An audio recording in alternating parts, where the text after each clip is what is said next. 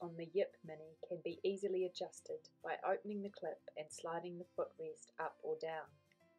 When it has clicked into place, simply close the clip. The foot straps also adjust to suit the size of your child's foot.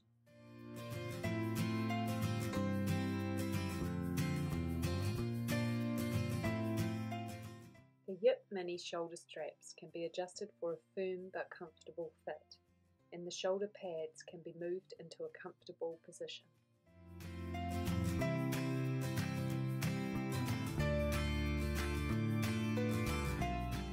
The straps are secured by a three-point harness that needs to be pushed from each side as well as in the middle.